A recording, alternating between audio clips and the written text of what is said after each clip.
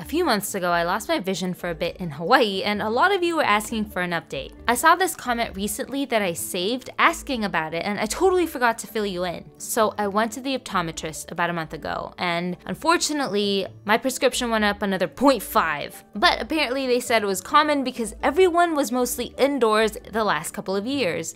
But other than that, they told me that my eyes are 100% healthy, so everything's okay. Thank you all so much for checking in. I'm so grateful for your concerns, and it helped give me that extra push to actually get it checked. Please don't procrastinate like I do. Get any health concerns checked ASAP. Surprise!